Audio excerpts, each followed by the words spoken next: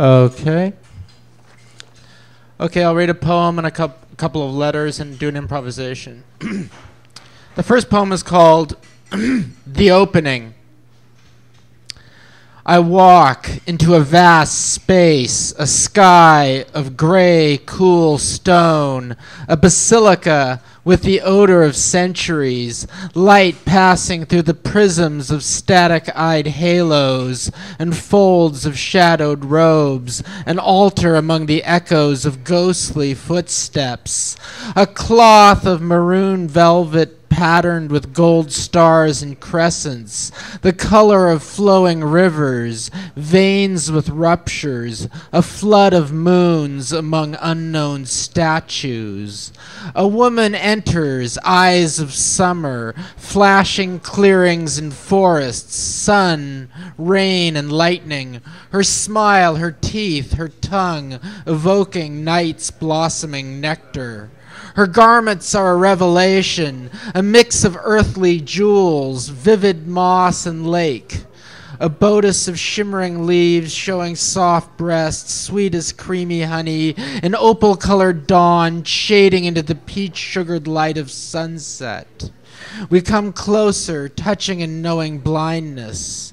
A mouth of kisses, a lush hot rain, her nearness a heavenly eclipse hands showing an intimacy with the wind, rippling the fine meadow hairs of my skin. Rising oceans crash against the cathedral, spilling salt and wetness across the floor. The heat of glass melting into pools of indigo. Dizzy epiphany and fragrant collapse.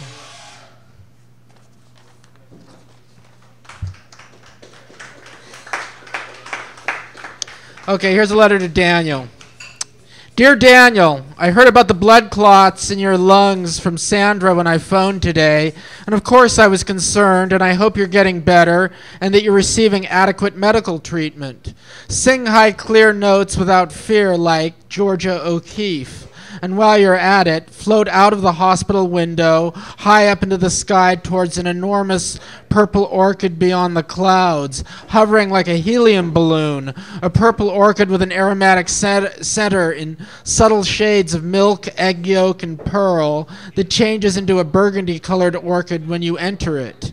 Then you will pass down a wet corridor into a room in which musicians wearing loose tunics and trousers in hues that match the external orchid petals pass the time on tambourine, flute, and drums while concealing their faces behind masks of cloth covered in patterns of vines, stars, and stylized peacocks and lions. You will remain with them, unsure of their race or gender, since even their hands are concealed in velvet gloves the color of silk and fire and cat's eyes. Then a giant silver basin will suddenly appear, filled with water sweet and fresh from both the Himalayas and the glaciers of Antarctica and New Guinea. You will be submerged gently by two of these musicians. A woman with long copper hair, bare of clothes, like a sky without clouds, will dance before you while waving a human skull with its hair still attached, and the teeth of the skull will spread the smell of sandalwood, permeating the room, and everyone will bow their heads and silently bless you, and you will be miraculously cured, and then you will change into a panther with the wings of a swan and rush off into the air, roaring and spraying fire and embers from your mouth on the lands below you, causing crops to be nourished and the soil to be replenished, and vast temples made of marble to be erected in your honor, with courtyards containing fountains that shed tears into the rippling silver mirror of the pregnant moon, while more and more giant orchids appear in the air everywhere. Talk to you soon. So I sign myself, your friend hidden in a thimble in a pumpkin patch, Eric.